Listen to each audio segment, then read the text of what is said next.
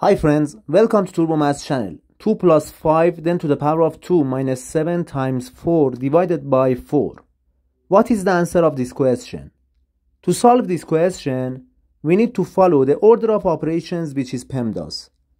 PEMDAS shows the priority of the mathematical operations. And if you don't pay attention to this rule, you get the wrong answer.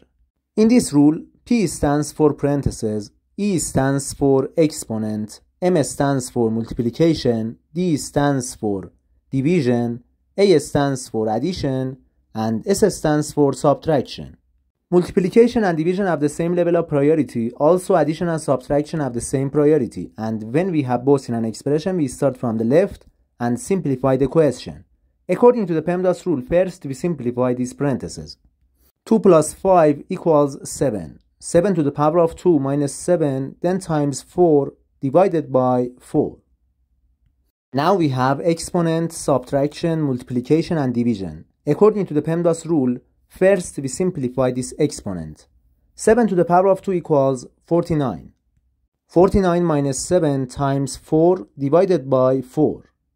Now we simplify this multiplication. Negative 7 times 4 equals negative 28.